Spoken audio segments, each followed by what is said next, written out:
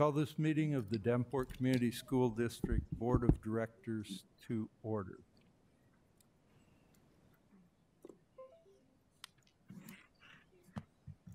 Before we get started, I want to apologize for the um, late start of this meeting. The board was in a uh, lengthy discussion about a couple of issues. And there are a lot of things that are really, really important. And two of them that are listed for action on tonight are seven point, I'm trying to get to it, seven point oh four, which is approval of compensation package for administrative employees, and seven point oh five, approval of compensation package for non-bargaining, non-administrative employees. I'm going to take both of those off of the agenda for this evening. And it is not to say that uh, those issues are not important. They're very, very important. And they're being considered um, with everything else that's going on in the district and that the board and the administration has responsibility for. uh, That will not be addressed tonight. However, uh, the contracts will still be going out as soon as possible. Is that correct? Okay. Um, And so we'll deal with, with the contracts. Uh, There should be no concern about receiving those contracts, but the issue of the changing compensation is something that we will have to deal with. I just want everybody to be aware, if there's anybody that was here for that in particular tonight, I apologize for that. Um, We'll move on with the rest of the meeting. Director Hayes? I'll be happy to. Sorry, I hate to ask you to do anything right now. That's okay. Okay. The Davenport School Board establishes the following priorities to ensure the academic success of all students, provide leadership and direction to improve the overall learning environment in our classrooms, schools, and district, including the health, safety, security, and happiness of students and staff, and to direct and support actions, programs, and activities which reduce the impact of poverty on our students, their families, and our community. Okay, thank you. Director Beck, would you please read our mission and vision statements? Yes. The mission statement is to enhance each student's abilities by providing a quality education enriched by our diverse community. And the vision statement is education that challenges conventional thinking, prepares all students to compete in a global society, and inspires our students, parents, staff, and community to answer the question, what if? Thank you very much. Are there any board reports? Um, Before we, I want to uh, mention also Director Gosa is with us. He is participating by phone, which we have determined is appropriate and legal for board members to call in uh, to board members. I just want to make sure everybody is aware he is here. Um, uh, Director DeSalvo. Um, Just a reminder, update about Dr. Kobylski. He will finish his classes the end of this week. Um, Once he obtains his certification from Loyola, he will submit that electronically to the State of Iowa Board of Educational Examiners. They could take, they've told us four to six weeks to um, review that and approve it. So at the conclusion of this week, assuming he's going to pass all of his classes, which I'm sure he will, he will have a superintendent's license in the state of Illinois, the state of Wisconsin, as well as the state of Iowa. He has eight years of superintendent experience um, in Wisconsin and taught, and taught in interschool city Chicago schools. So we're very excited to have him come on board. Um, two weeks ago, maybe three weeks ago, it's running together. I had the opportunity to attend a meeting um, in Des Moines with three of the state board members. Um, Sandy Schmitz was there, Susan Downs was there. I'm gonna miss some administrators. We had Corey Guy there, we had Jake Klipsch there, Dr. Goldstone was there, Claudia Woods, TJ, myself. I apologize if I forgot anybody. Who did I forget? Oh, Bill Schnaden was there as well. We had a really good meeting with, um, and um, Amy Williamson was there, and, um, Dave Tilley, thank you, TJ. So we had a really great discussion where we went over the phase two audit results, and we went over the phase two list of things that the district has to complete. And it was a very collaborative discussion. I left that day feeling very good about our relationship with the state and how we are, the communication was great. They've basically told us that they will offer us at no charge um, assistance if we need somebody to come in and do training, if we need resources to assist us during this process. Process. So we've got an awful lot of work to do. We realize that, but this collaborative effort effort that has started, and I'm I'm very positive will continue through this process. So it's going to make our district stronger. It's going to make our district better, and our relationship with the state um, we continue to work on, and I'm feeling very good about it. So I'm very thankful to all the administrators that went up there. I'll tell you, I was so proud of the work they had done going into that meeting. They were prepared, they answered questions, they had good conversations, they were spot on.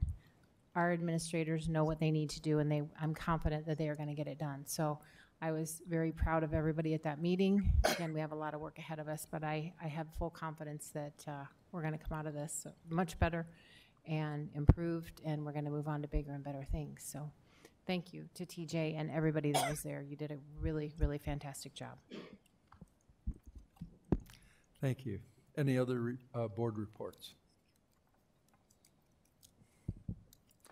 Okay, we'll move on to communications. Director Potts, would you please read those for us? Uh, Public content, July 1, Monday, Committee of the Whole meeting, 5:30 at the ASC Jim Hester Boardroom. July 4, Thursday is a holiday, admin building's closed. July 5th, Friday, closed. July 8th, Monday, regular board meeting, 6 o'clock at the ASC Jim Hester Boardroom. And a reminder that there's only one regular board meeting in the month of July. Thank you. Next is open forum. We have three open forum requests this evening. Uh, Open forum is a time for members of the community to give input at a board meeting regarding school district issues or concerns. Individuals who want to speak should fill out an open forum request and give it to the board secretary prior to open forum. The board will not act on any issue presented during open forum if it was not published as an agenda item. The Iowa Open Meetings Law prohibits action on any issue that is not on the agenda. The president will set the amount of time allowed for individuals to speak during open forum. The board asks that no charges or complaints be made against individual employees of the district or community during open forum. Remarks that reflect negatively on the character or motives of any person will be called out of order.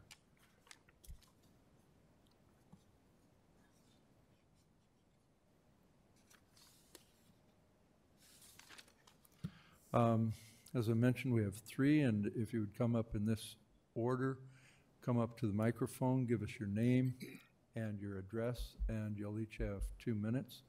We'll start with Eric Johnson, followed by Heather Johnson, and followed by Mary Ray. Eric?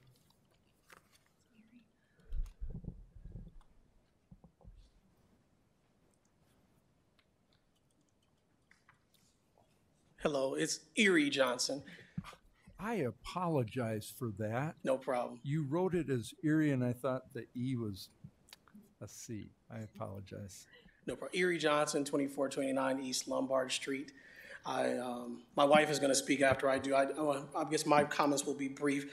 My, I want to express my concerns with the fact that we are eliminating jobs and eliminating paras on the ground level who are interacting with students, but I have not heard any information, or have not received any information about what's going on at an administrative level. I understand they have a lot on their plate right now, going to Des Moines and working out the problems they have to do, but we also have to keep it on a, a a balance on the side. The people who are working with the students on an everyday basis, um, they're needed. We, we basically didn't have enough teachers, enough paras before, but now reducing those. My daughter does attend Sudlow, and I just heard that now that the, her opportunity to take a foreign language has been severely limited. She might possibly be put in a lottery, whether she can take Spanish or not in seventh grade. Uh, going along with the mission and the vision, that's not a global society. We're not preparing our students to be global uh, entrepreneurs, leaders in the community if only 30 out of, what, 275, 300 students can take Spanish. Uh, which is obviously a big language in American right now.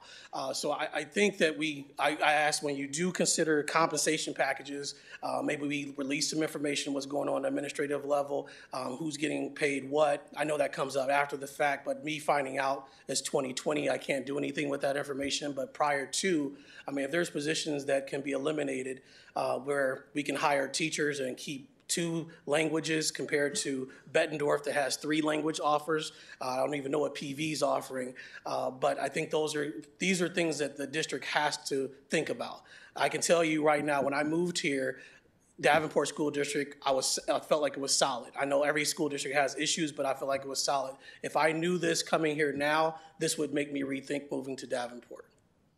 Thank you for your time. Appreciate it. Thank you, Erie. Next is Heather Johnson.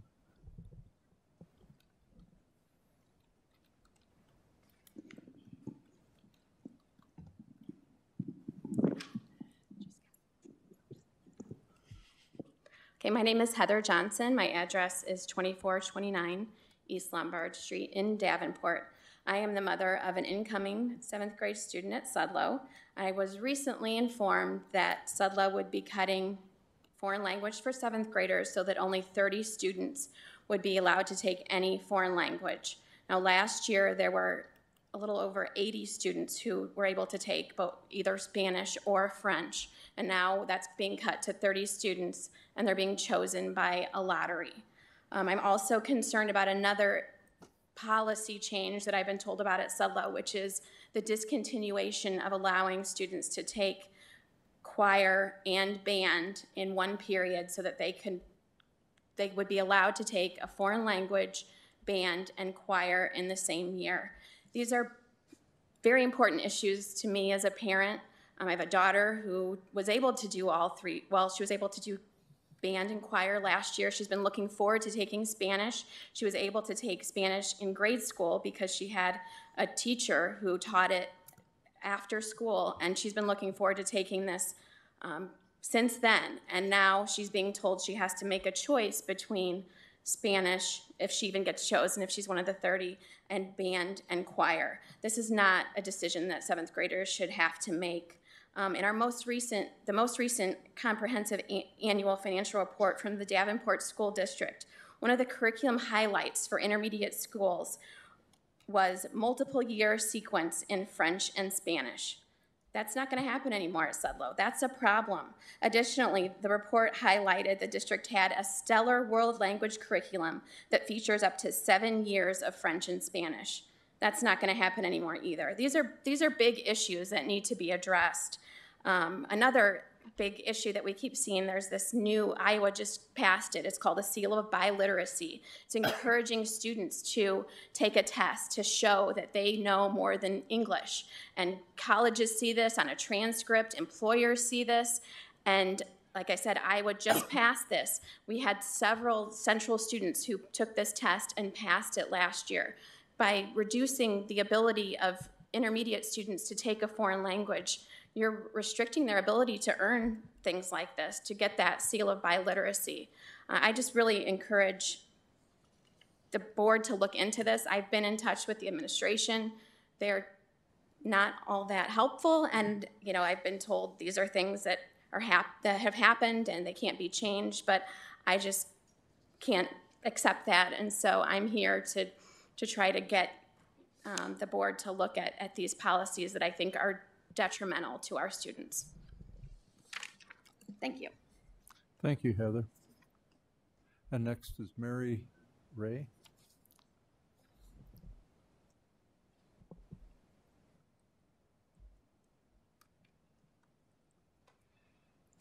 Hi, my name is Mary Ray. I live at 1520 West 3rd Street in Davenport.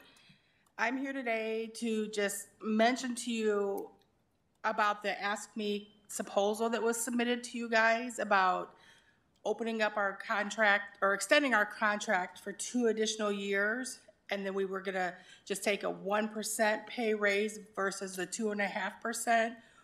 That was our way of trying to help the district save money. It was brought back to us that that conversation could be had, but they were gonna strip things out of our contract this current year before our current contract is even over. So we did withdraw our proposal because we are not willing to remove things from our contract this year. We, you know, we knew that come the following year, yes, there would be things removed. But I just wanted the board to know, you know, the reason we did withdraw that is because we are not willing to already lose the things that we've already got now. So our proposal to extend our contract has been withdrawn, and we will be going to negotiations for the next contract. So that, I just wanted to make sure that everybody was aware of what was going on. So, thank you. Thank you, Mary. And thank you to Erie, Heather, and Mary. Um, The issues that you've brought forward are important. They're important for not only the board, but for our community, uh, everybody to be aware of these things. So thank you very much. Next is the consent agenda. May I have a motion? Mr. President, Director Hayes. I move that the board accept the consent agenda as written. Thank you. Is there a second? Second. Is there any discussion? Okay, I'll call for the vote. Director Hayes, Yes. Director DeSalvo, Yes. Director Potts. Yes. Director Beck, Yep. Yes. Director Mayfield, Yes. Director Gosa. Yes. And my vote is yes. Motion carries. Thank you. May I have a motion regarding approval of bills? Mr. President, Director DeSalvo. I move that the board approve, I'm sorry, I'm reading. Administration's recommendation to approve the resolution is recommended by the administration for adoption of the bills from the bill listing periods of June 6, two thousand nineteen through June 19, 2019. Resolved, all claims presented to the board having been duly certified as correct by the secretary, reviewed by the administration and board members, and they are hereby audited and allowed as just claims and warrants drawn on the treasury for the several amounts. Further resolved, the payment of claims and salaries be approved as presented for the periods of June sixth, two thousand nineteen through June nineteenth, two thousand nineteen, with the following voided check number three six two nine four four payable to Alpha Baking in the amount of seventeen thousand thirteen dollars and seventy-two cents for the wrong amount. Thank you. Is there a second? Second. Second. Is there any discussion? Okay, we'll call for the vote. Director DeSalvo, Yes. Director Hayes, Yes. Director Potts, Yes. Director Beck, Yes. Director Mayfield, Yes. Director Gosa. Yes. And my vote is yes. Motion carries. Thank you. So superintendent report? None at this time. Okay. Move on to other items requiring action. I have a motion regarding the approval to amend the contract with the Mississippi Bend Area Education Agency. Mr. President, Director Hayes. I move that the board approve the contract amendment with AEA nine to assist in hiring certified teachers to provide compensatory education hours at the cost of approximately two hundred thousand, including a two point five administrative fee charged by AEA nine. Uh, thank you. Is there a second? Second. Is there any discussion?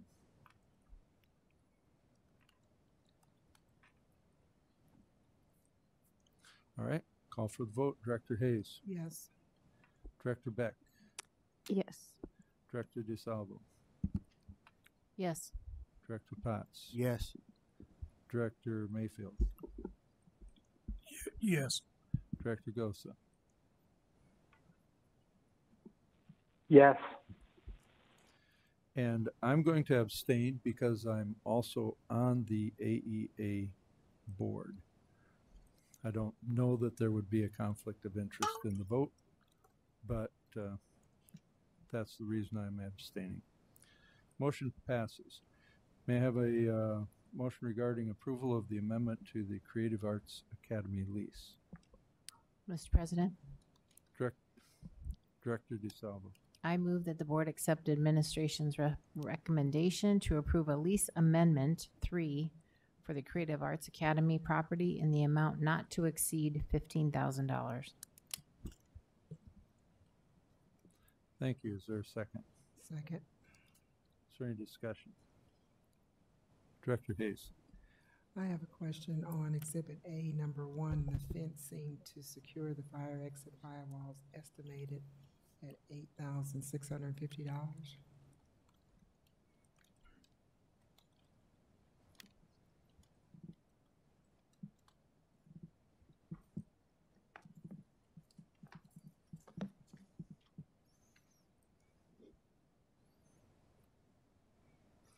Yes, what's the question? The question was regarding the fencing. There is a contingency of one thousand eight hundred and fifty dollars for the total authorization of ten thousand five hundred dollars. Could you explain all of that? The fencing has to go all the way to the ceiling to cover the fire escapes. Just at that back door? It's the two uh, side doors on the east and the west sides. There's a picture in there, Linda. Okay. I guess I was just familiar with the one on the east side of the building. I didn't realize there was another one. Yep, there's one on both sides. So this cost is for two doors? Yes, Okay. and the fencing to go up. There's a picture. Picture, you had requested pictures, so I asked them to send a picture of what is exactly being fenced. And it's, it, it has to go from the floor all the way up to the ceiling. Or the, it, basically the floor of the creative. arts Correct. Okay. Thank you, With the appropriate thank you. bars. Yes. Director DeSalvo. So we're leasing this space, correct? Correct. From the city of Davenport. Why are we having to pay for this? We're leasing it from the Eastern Iowa Community College. Okay, but still, then why are we having to pay? We don't own the building. So we're leasing it, we're sinking up to fifteen thousand dollars in it, and let's say we walk away, that's not ours. Well, it's a um, improvement that the district would like to do. Because right now, people go up there and they kind of hang out and they're disruptive to the class and the students. Have we taken this to Eastern Iowa Community Action and asked, uh, Community College and asked them if they would be willing to pay for this, for the safety of our students? I haven't done that, but I could. When is our lease up there? Five years. Five more in addition to the, what, we've been there two or three? Nope, we've, it's the first year, so this will be four more years after this year. Oh, I thought we approved that a while back. Time. Okay. I'm, I'm struggling with that. I, I would really like you to go back to them to see if they would be willing to cover the cost, but it sounds like somebody's got a comment on it for me.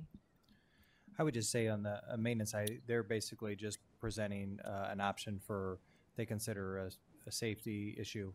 They were asked to do that. That's the only code they're getting. That came from the people at the Creative Arts Academy. So we're just presenting the price. Whether to do it or not is not a recommendation we're making. It's just, here's what it would cost to entail that. I would like to see it done for the safety of our students, but I, I don't know that we should have to support the cost of it, being that it's not our building. We don't own the property. I worry about liability. What if we don't do something they would like us to do? What if something goes awry, as typically happens with our projects, and then we're in for more? I, I have some concerns with it. Uh, obviously, I want to keep our students safe, but I'm, I'm concerned with us paying for this. I, I would like to take it up with them. Any other discussion? Uh, Director Beck. I'd sort of like to echo what uh, Director DeSalvo was saying. I definitely want our students safe, and that's the number one priority. Um, But, you know, if I were renting an apartment and I felt unsafe, I'd go to my landlord and say, can you fix this first? So I guess I would encourage you to do that first and then see if we can work something out, because I don't want us to be on the hook um, especially if we decide we're not going to renew the lease in four years. Um, and I know it's only fifteen thousand dollars, but you know, if they can pay for it, that's important. Part of that fifteen thousand is also for the signs, exterior True, signs. That's right. And I understand that we have to pay for the signs. That's not a problem. Uh, Any other discussion? I got a couple of comments or questions. I, I too am a little bit troubled by this. Um, I, I don't quite understand. um, I think what I heard was that this was not a recommendation by the administration. Huh? But it comes across as a, a recommendation. Um, and, and so I was curious, where did the thought come from? Was it from the board? Was it an administration? Was it, how did the idea come up that we should do all this? So if you look at the picture that you have, mm-hmm. in when you go to the top of the stairs, there's a space that's protected from the wind. It's protected from other outside areas, and anybody can walk up there. And you can't get inside the building. It's l- merely a fire escape. So, in you can imagine what a space like that might gather. And so our intent is to make sure that nobody can go up in there in case of an emergency, that our students would have a clear egress um, of this space. Correct. So while we lease that building, we if we want something done to it, we we have to make those changes. And this is this is something above and beyond that we are recommending doing to keep that space safe.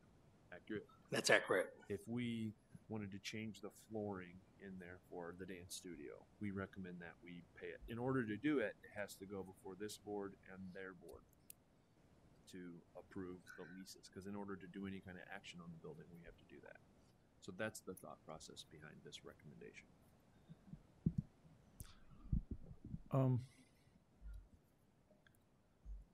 so I think Director DeSalvo mentioned the possibility of liability uh, that could be incurred by making these modifications. Is that something that we think about and that we've, I don't even know how you do that. Um, do we go back to our insurance people or to determine whether we're actually causing more problem by putting that in? I did get with the fire marshal and he, he said as long as we had panic bars to go out, it was okay.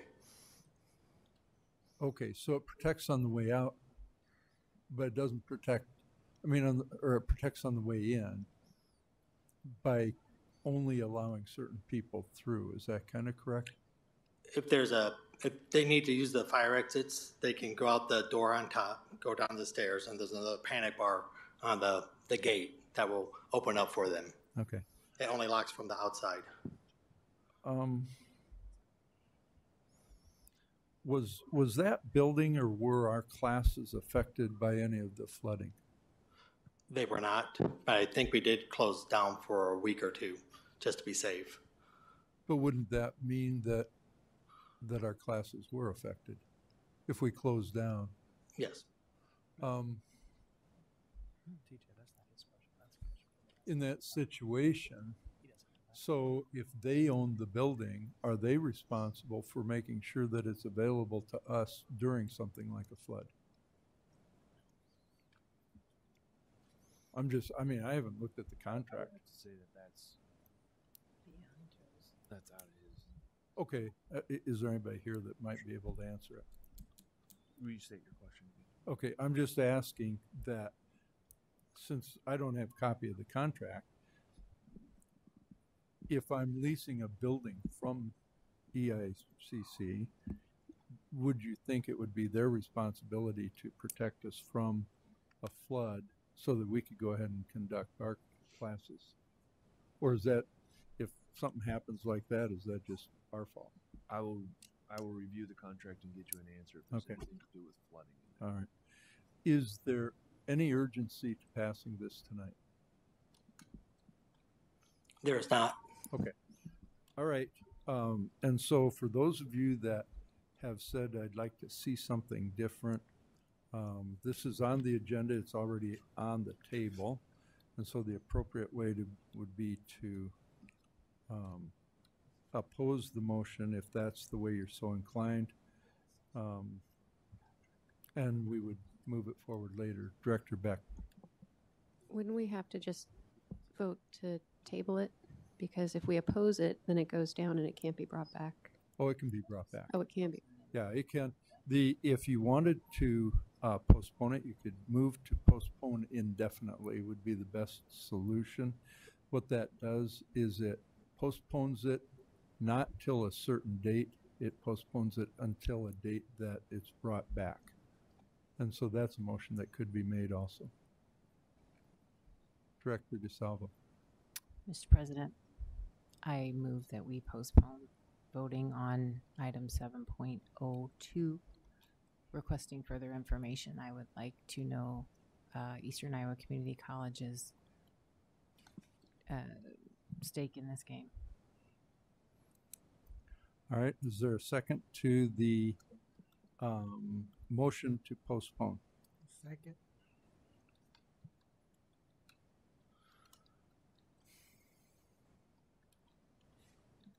Is there any discussion on the motion to postpone? Okay, I'm going to call for the vote. Director DeSalvo, Yes. Director Hayes, Yes. Director Beck, Yes. Director Mayfield, Yes.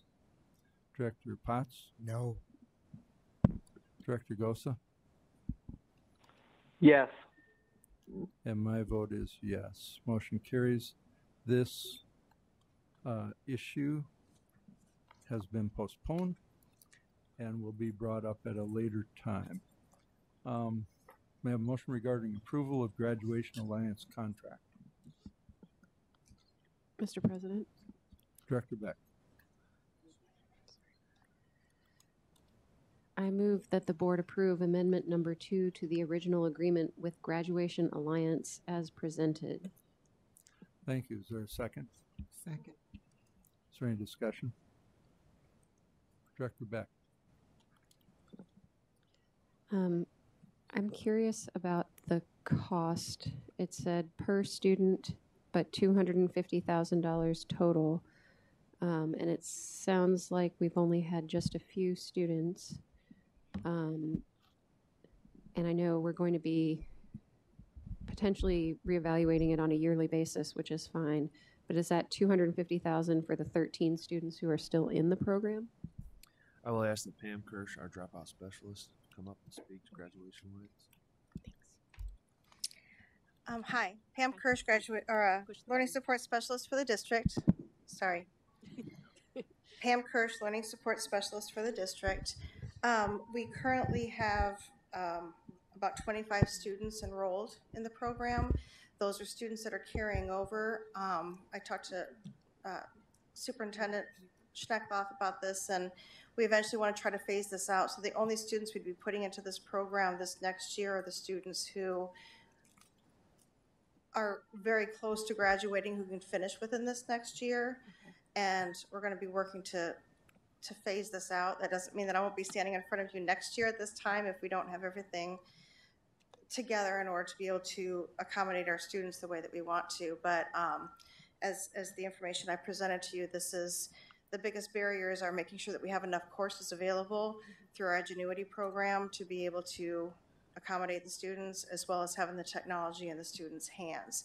And that's the one thing that Graduation Alliance, they have a, a full course offering as well as they give the students a computer with a hotspot so that they have that access whenever they need it. Okay, thank you. Any other discussion? Director Hayes. With the number of students enrolled versus um, the dropout rate, can you tell me what measures are we taking for retention?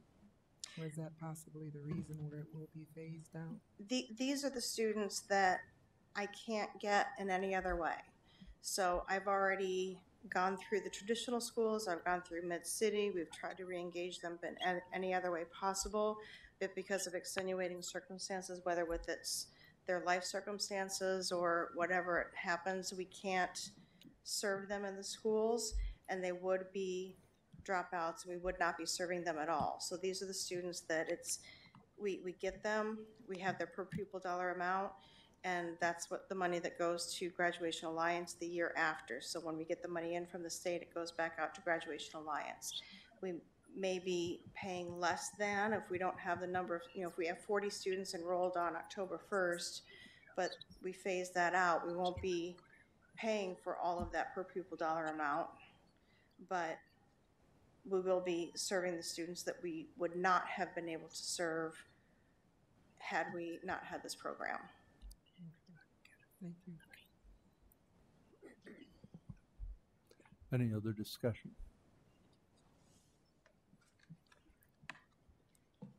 All right, we'll call for the vote. Director Beck, Yes. Director Hayes, Yes. Director Potts. Yes.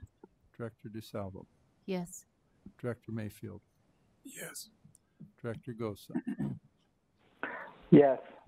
And my vote is yes, motion carries, thank you. As I mentioned at the uh, beginning of the meeting, 7.04 and 7.05 will not be on the agenda for this evening, so we'll move on to 7.06. May I have a motion regarding approval of interim superintendent's contract? Mr. President, Director Hayes. I move the board approve the revised contract for TJ Schneckloff, the interim superintendent. Thank you. Is there a second? Second. Is there any discussion? Director Beck. Uh, One quick question. I'm showing the little uh, document icon, but nothing shows up. Oh, okay, never mind. Found it. Thank you. We're good. All right. Um,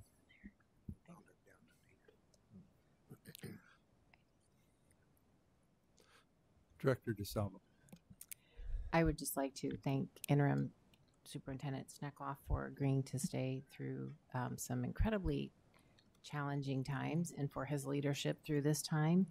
Um, and I look forward to his continued role within the district. And I'm glad that he is willing to stay with us as long as he has and, and continue into the future. Thank you. Any other discussion? Okay, call for the vote. Director Hayes, Yes.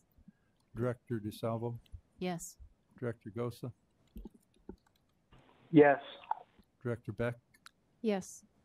Director Potts. Yes. Director Mayfield, Yes. and my vote is yes. Motion carries. Thank you. May have a motion regarding approval of policies. Mr. President, Director Beck. The Policy Committee recommends the board approve the following policies. 504.02, personal appearance of students. 502.19, suicide prevention and ACEs training. 505.13, concussion management. 307.05, reward for information regarding vandalism. That's a deletion. 504.04, substance abuse. 504.09, cell phones and electronic devices. 505.12, student distribution of non-curricular materials. Is there a second? Second. Is there any discussion? Um, I guess I'm still running this part. Um, so, the only thing I would say is that I, I am still, um, hmm,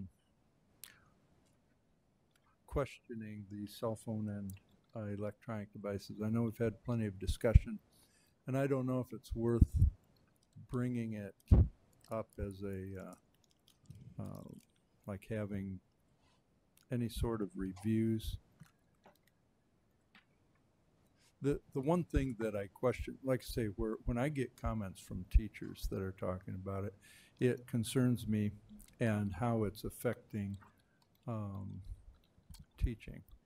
And so my only thought on this is, is it worth having, like a teacher panel or something like that, just to see what they say. I don't think there's, the urgency to addressing the policy is probably just because it's in the review mm-hmm. cycle. So, how, I don't know if it's, how close we are and whether the state would be upset if we miss something by a month or two. My recommendation would be to not miss something by a month or two. Um, This was last adopted uh, in April of 2014, so we're actually a little past the five years. All right, So I would recommend adopting it now, and I'm certainly, I think, not a problem to discuss it. We can always revise it um, I'll, uh, later. I'll just put it into a board request. That's perfect. Okay, thank you. Sorry for bringing that up. Any other discussion? Okay, we'll call for the vote. Director Beck, Yes. Director Hayes, Yes. Director DeSalvo, Yes. Director Potts, Yes. Director Mayfield, Yes. Director Gosa, Yes. and my vote is yes. Motion carries. Thank you. Um, Next is discussion item, Phase Two update. So you gave the first portion of our phase two update, which was uh, very eloquently stated by Director DeSalvo. We spent an entire day negotiating timelines, and when we showed up in the room, we didn't know how it was going to go. And both sides, at the end of the day, admitted that, and it was a very collaborative effort to to to put markers down that allow us to come back to the table to determine, you know, are we doing what we said we were going to do, or is there do we need to sit down and, and look for more time, or this one is a very hard deadline. Uh, Amy Williamson kind of she facilitated the meeting, and I thought did a nice job. And at the end, I feel that we are we now have a roadmap of where we're going and how fast we have to get there. Uh, I was very proud of our administration. Um, they spoke freely, they worked hard, and, and Director DeSalvo, you did a nice job representing the school board as well.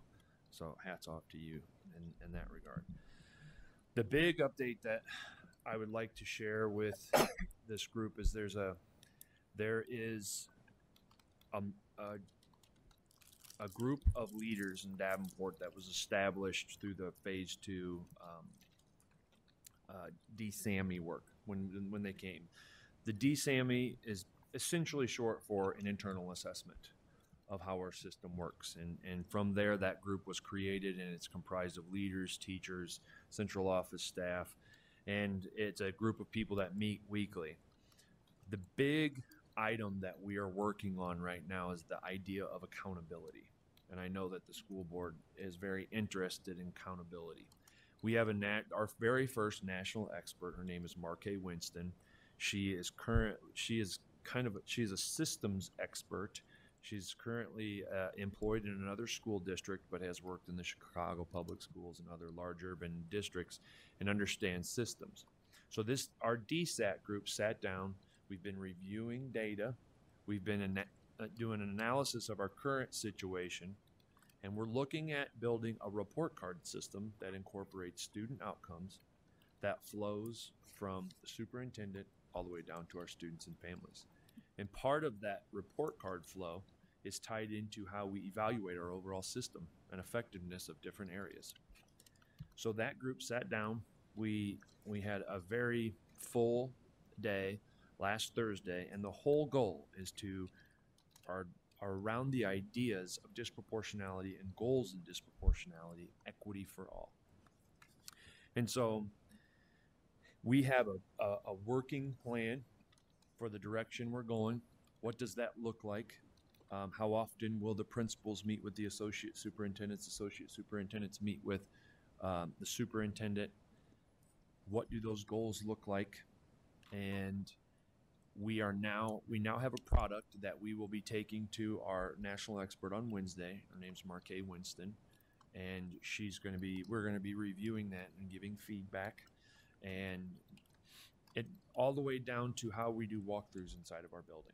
And there were every level of our district was represented there: intermediate, high school, and elementary. Obviously, it's a it's it's um, something that's going to take tweaking all, all along the way. But this is one of our major actions coming out of phase one. And I'm very excited about this work because done right, it can be um, positive feedback. Who doesn't, who in their job doesn't want to know how they're doing? And, and guidance of next steps. There isn't anybody that doesn't know that, as long as it's done in a compassionate way. And, and that's our goal. And so we're looking to go into the month of July with a very clear plan that we can begin to communicate all the way through our system. So we are also working on our August um, citations that, that document is shared with you. But we're also working with the State Department. They have a doc, very similar to the document that we have, they have a document that's even clearer, I would say. And you can sort and filter. Plus, it, it, it gives us um, vertical alignment with the state so they can see how we're doing, you can see how we're doing. And I believe that that will be a document that we can, kind of a 2.0 version of the spreadsheet that you have that be, that shows how are we doing um, and how we're moving forward. So that's what's going on in the area of phase two right now. Dr. Goldstone and her crew are making appropriate progress on the citations that are, that are falling in HR. And we're also beginning to determine, okay, yeah, we can put the evaluations in off and make sure that we have them and collect them, but our, and our individual career development plans, but are they of high quality? Are they, are they giving teachers what they need to know? Are, is the feedback high quality? Is it, is it connected to our system? All of those things that make a, a great system, we're, we're, we're evaluating and having those conversations. That, that, that concludes my update. Director Beck. Um, I appreciate your explanation, um, because I remember one of the things that I kept asking about was the communication issues that we were cited for, and how are we gonna communicate? How are we gonna deal with those citations? So I'm happy to see that you've got this in place, because I think this gets at a lot of the questions I had about how do we know that we're getting information out to all the right people at all the right times, and it's, you know, going where it needs to go when it needs to go. So, thank you. Director DeSalvo. I would just add that, um, I think we can share that spreadsheet. Did, did we get an update from Amy? Okay, so we're waiting for an update from the state and it's, it's very good, like Bill Schnaden's spreadsheet, but, um, kind of condensed, but it is the one that, um, Amy will take back to the board and present updates. So, um, I would just add that uh, where TJ kind of, I'm sorry, interim superintendent Schneckloff kind of ended his conversation that we had a lot of discussion about that day and our administration was wholeheartedly on board that it's more than just checking a box. These things have to be meaningful. They have to have fidelity and they have to be sustainable. And we are all very much committed to that. So I think that's a very important piece of it. So I hope maybe by Monday or, or maybe the board meeting in July that we can have that spreadsheet and I'll kind of keep track of it via that means. It's similar to Bill's, but more condensed and, and a little bit easier to read. So, um, but anyway, I'm, um, again, the collaborative effort is phenomenal and, and will be very successful. Anything else? I got a couple things. Um, of course, I get uneasy when we're told, say, get it done by August. And my understanding was when the question was asked at the meeting, it wasn't clear what August means, whether it means first of August, last of August, or sometime in August. That's what I got. And part of my uneasiness is that um, as we were going through phase one, and we kept saying, are we there, are we there, are we there? And I think most of it, um, we got done like with one day to spare. What I'm concerned with here is that we have one regular board meeting in July. And if if, as Director Beck said, with respect to even approving a policy. We better get it done when it's due and whatever that means. And so my uneasiness is that we don't have it due on August 1st, but we haven't even had a report to know that it isn't due. Then I suspect there's a good chance that we will be non-compliant. So, and in fact, even, well, I'll ask later, but um, is there any way we can get a more real-time um, uh, definition of where we are? I don't know exactly what it would look like, but we had asked for a report at every meeting originally. Um, But I'm wondering whether there can be something that is more concrete. As you read in the report, the board will be given a mentor, as will the superintendent.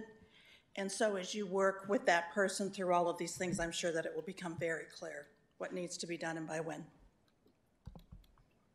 And I understand that, except that from what I read, there was no listing of when that mentor would appear. It will, it'll be within the next month, I believe. They're, they're securing his contract right now. But, but if that person comes on August 1st, which is when the board is supposed to have done something, that's my concern. is- My understanding at the meeting that we had a couple of weeks ago that the August deadline was defined as August 30th. Oh, okay, I, I didn't hear that from anybody. I thought that board member, and I, forgive me names, Mike, I thought he just said it could be any time in August. Anytime in August, up until October, uh, up until August 30th. Okay. Wow. Up until. So, I mean, you can do it anytime in August, but it's just, um, August 30th was what I heard. Okay, but we can, we'll make that assumption that that's accurate then, You can, yeah. is August 30th. Um, Thirty-one. what's August that? thirty-one, there's thirty-one. 31. Great. I can ask for clarification if No. you would like. No, We'll take that. I'm taking Sandy's word. That's good. I mean, that's how, that's how it was worded. And I just said, I interpret that to mean any time in August, but, But I can assure you, you will not have some of these questions in the future because your mentor will be here. okay. So, Okay. Um, with respect to, like, right now, I mean, I, I understand you had the meeting, but is there any way to say, how are we doing right now?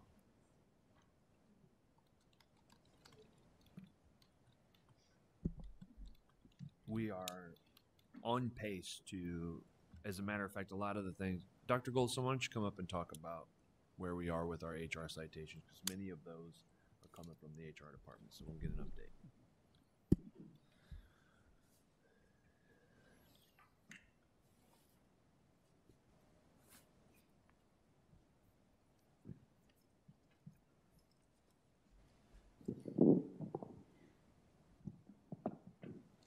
We have made um, progress on each of the citations. Either we have cleared them completely, or we have a plan to address them, such as career development plans. Uh, Building principals have been um, sent emails and asked to put them on a Google document. We are able to say what specific teachers may still not have a Google document. From our meeting uh, with the state, that means that in the fall, those teachers will start on, uh, start at year one, tier two. Um, So we have that information. We are uploading that into the document. Um, Another example is um, um, administrator evaluations. We have those uploaded, and under the leadership of Superintendent Schneckloff, he has done all evaluations this year. We will get those uplifted, uploaded into the system. So we've made lots of progress. Some we have completed. Um, others, such as um, teacher peer review, I have had conversations with the union, with curriculum, and we will put a group together, and I will write that and establish a timeline, and we will be ready for full implementation for the 2021 school year, which is our deadline to have that uh, ready and going. So each of these items we have addressed. Many of the items we have completed, and those other items, we are almost there to be able to complete them. Associate Superintendent Schnaden created a document, and it starts as a gray, and that means the citation is there. If we have worked on it but still have a few pieces, it goes to yellow, and once we hit green, it means that it is completely done. And so we do have quite a few green. We will meet our deadline well before that August dead, uh, August date. And just as someone that was at the meeting, we were told the end of August, anytime up until then. Um, but it was the end of August as the final date. Uh, Director DeSalvo. Is this out on Google Docs? Did we put that out there, the spreadsheet? I think it is an internal one, but it is one that uh, Associate Superintendent Schnaden created. I know. And so I thought uh, board members were on that list. So I will double check to make sure that if you're not, you are, so that you see as things are being completed, you'll know it right away. Yeah, I think that night that we were having trouble, some of us getting into Board Docs or Google Docs, um, Yeah. we didn't have permissions, and then I think we got, I got an email from Jamie telling me I could, but I didn't go back. I'm pulling the Okay. one now. I'll from the double June check to 30th make meeting. sure that all board members have ready access. And that's the beauty of a Google Doc. As soon as you do something, it is ready for someone to see. And we wanted this whole process to be as transparent as humanly mm-hmm. possible. So maybe we could talk about that spreadsheet at the committee, of the whole It's gonna meeting. change too. I know, you know? right. Yeah, thank you. Thank you. Anything else? Um, I've got a couple more things. I don't know if, if they're applicable to this part or not. One of the things that I've been informed of is that there are a lot of vacations coming up in the next few weeks. Will that impact, um, progress on the completion of those issues or those items? No, it won't, because as said, HR department, I had set a deadline prior to the deadline to make sure that if we needed anything else, we would have time to do it and not running straight till the end. So no, that will not impact it at all. All right. Um, the other two, I don't know if, if they apply to you, Dr. Goldstone, but, uh, one of them, I think, I don't remember if it was mentioned earlier or not, but I haven't seen any, uh, updates. And I think we need something on the phase one update, uh, or the phase one issues that we haven't completed. Um, I want to know how, how we know how we're doing. Um, that seems like a lot of more challenging issues. They aren't, they aren't just things that we can complete. And I'm wondering how we're doing and how we can get a reporting on that and how we report back to the state and to the state board. Uh, Director DeSalvo. So the two items from phase one that, that are still in progress have been combined now with items from phase two. I don't recall the new due dates that were given for them, but they have been combined now. Um, we asked that very question of how was this, the state get updates? And so the spreadsheet that we're waiting to get um, from Amy Williamson, we will update that and she will take that back to the Board of Education and share that when she attends their meetings and provide updates to them there. Um, could they come back and say, yeah, you, you didn't finish this one or this one isn't to what we want? That could absolutely happen. Um, but we need to make sure when we say it's done, it's done and it's done um, exactly as expected. But she will be the one conveying updates to the Board of Education. Well, and maybe That's this my is something, understanding, right? maybe I need to request a, uh, an agenda item. I think that, um, disproportionality, when it was first brought up in the citations on April twenty-third of twenty eighteen, um, and as, as I listened and tried to understand everything that was being done and, and whatever the discussions were, what I was led to believe was that those two particular issues, the disproportionality with respect to the uh, placements and the disproportionality with respect to discipline, um, were acknowledged to not be required to be completed by April 23rd of 2019. And I don't know if that's an appropriate interpretation. That's what I thought, but then it seemed like on April 23rd, that's not what I interpreted from the uh, state. And I don't know whether you that have been in that meeting can talk about that. Where I'm going is that I still have no idea. What I've heard is that it takes years and years and years to get to being proportional. And I'm thinking if we have certain things, if we've got to complete it by April 23rd of 2020 or by November 15th of this year, I'd like to know. I don't have any concept of when that's all due. I was wondering if, if one of you can either talk about it or I'll request it in a board request. I think that after we talk about this at the next committee of the whole, we can get you some more information of how it's been combined, combined with another i- action item on the phase two list that has a due date. So we can talk more clearly. Now, don't, don't do that. Don't, don't make wrong assumptions. Let's just wait and talk about it. I'm just So- curious if, uh, I'm still going to request to hear them because that, that is stunning news to me. No, please don't take it like that. Don't misunderstand that we talked about it. Those in the room bail me out of this. we talked mm-hmm. about it. We combined it with another action plan. No one is saying by this date this problem will be fixed. Absolutely not. It's going to be a work in progress. There are very specific things that have to be done, like someone in charge, a committee, all of these things that have to be done by that date. But no one by any means is saying this will be done by this due date. Absolutely not. So please don't misunderstand. So my- do we have a plan We have a plan. and it's written It's written. for completion of phase one? It's combined with another item in phase two. So I'm not comfortable in telling you that phase one has a completion date. You're, please don't misunderstand.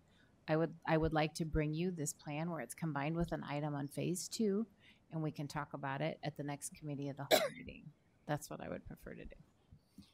Uh, We also, as um, Sandy mentioned, there are some experts in the field that will be working with the district as well to help uh, lead and guide uh, through addressing those issues. Because something like disproportionality, unfortunately, can't be talked about today and ended tomorrow. There is a very definite and specific process. So there will be an expert assigned to work with the district to address that issue and to eliminate it as quickly as possible. Oh, yes. Oh, yes. Um, Phase one is basically over. The lack of progress in phase one caused phase two. So if any lack of progress in phase one has been folded into phase two, there's no phase one.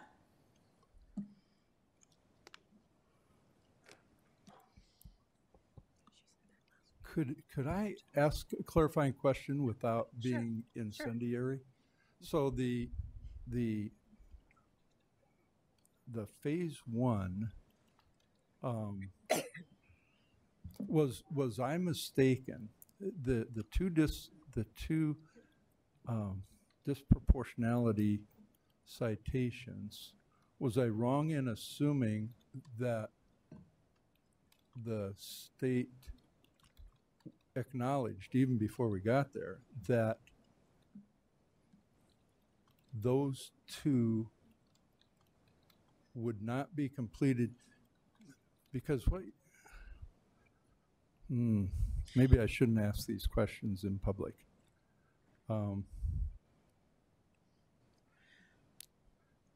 You're saying phase one no longer exists, and if it no longer exists, then we are not in non-compliance with phase one, correct? No, what, what wasn't complete, phase one no longer exists as a separate report.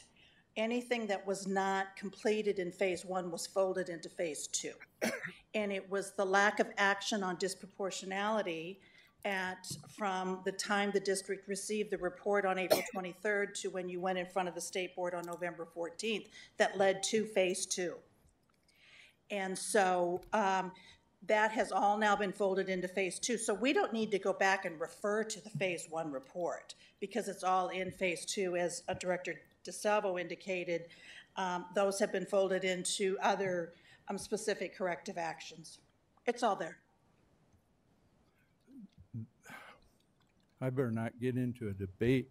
It's just that on November fourteenth, um, I don't believe that the state board ever stated that, that that was the reason for going to phase two.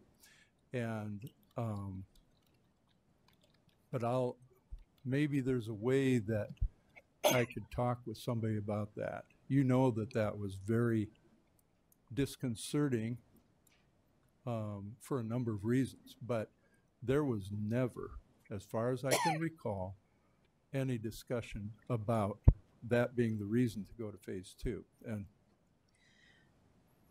so, but Well- you're saying that is absolutely the Well- reason, and that's why the state board ordered the phase two, even before they heard you and Amy speak. One of them ordered the phase two uh, without even hearing what you had to say. That's not what I recall, but One of them prepared notes and sent a letter in with that recommendation to go to phase two without hearing what you and Amy had said. And what I heard, what I, what I heard was you two saying, hey, they got a heavy lift, but they're making it. So, anyway, At last week's meeting, one of the things that was said, there was progress being made, but had not reached the level that the state board wanted. And as a result, it was continuing in the phase two. So they did recognize that progress is being made, but there's still disproportionality. And, and I appreciate what you're saying, Dr. Goldstone. All I'm saying is that I was there at November 14th, and I've got, I've got the recording and I've got the transcript, and I know what they said. So, and I'm not going to be um, just politically correct um, and accept some of these, what I think are um, rewriting history. So, but I appreciate what you're saying, okay? Um, last question, and I'm sure it has nothing to do with you.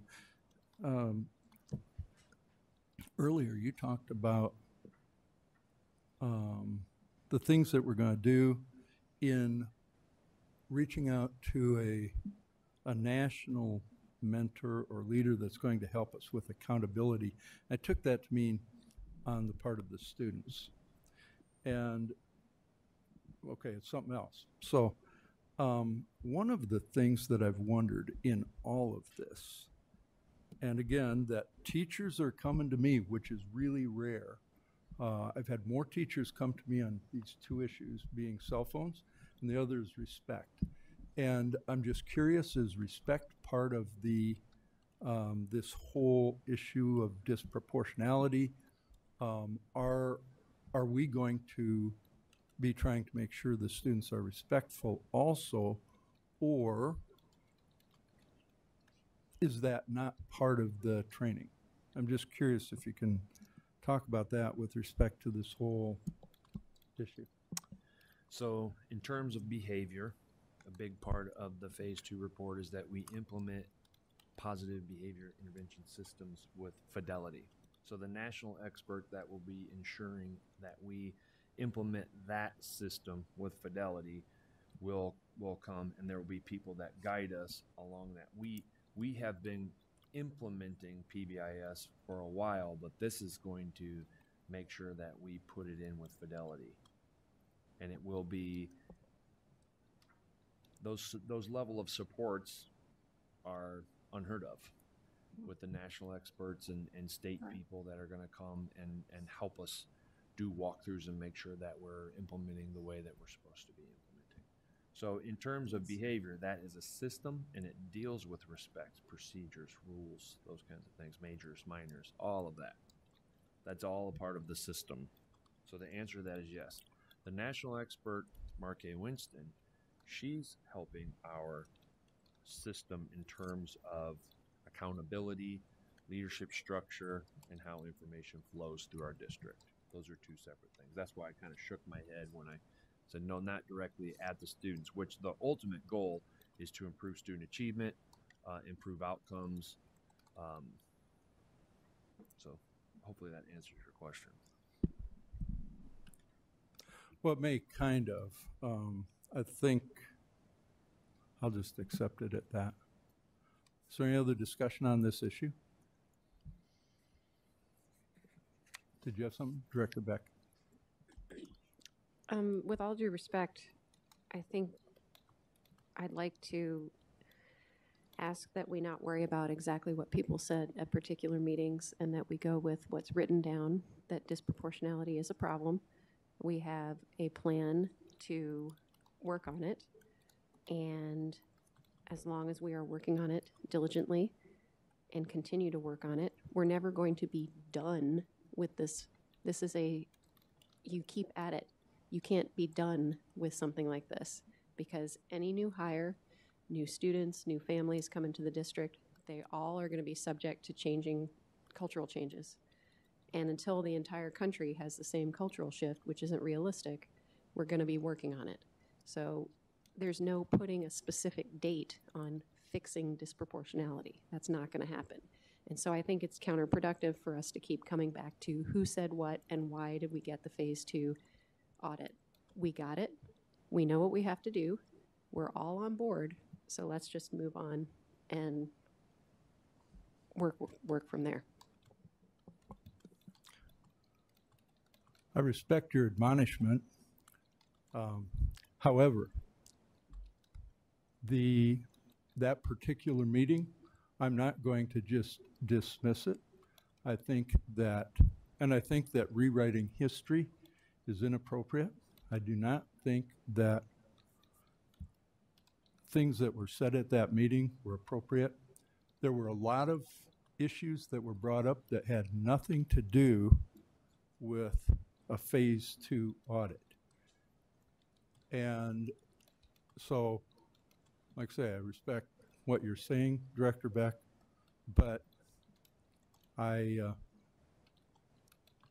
I can't, I can't let something like that, which is probably one of the worst meetings I've ever experienced in my life, simply let go.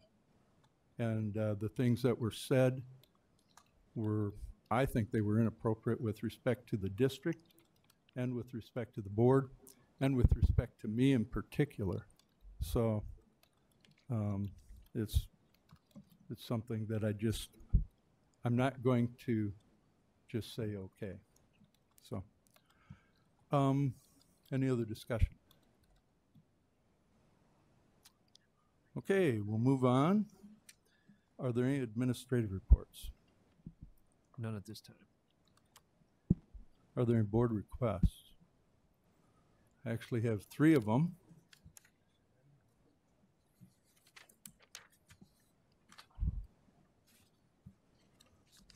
First is a, an agenda item request from uh, Johanson, and the description of the request is uh, discuss cell phone policy. Why are you requesting this information or agenda item? Because teachers have been talking to me with respect to how challenging teaching has become because of phones. Is there a second? Second. Who was? it?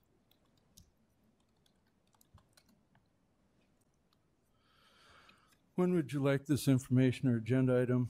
Um, I didn't put anything down, I would say by uh, September. Second request is um, from Johanson. Date of request six twenty-four nineteen, agenda item. Description of request, I'd like to discuss how the phase one noncompliance uh, is addressed in the phase two. And why am I request, or why is Johanson requesting that? Because I still don't understand how the two are fit together and how the, what was a non-compliance on April twenty-third is not a non-compliance now. So, um, is there a second? Okay. And the last one is from Johanson, same date, agenda item. I'd like to discuss uh, student respect. And why? Because I've been getting notices from teachers talking about lack of respect from students. Is there a second? All right, those, Second. oh, you do? Okay.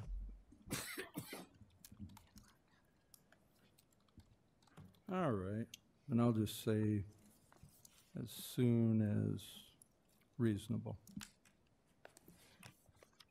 Okay, very good.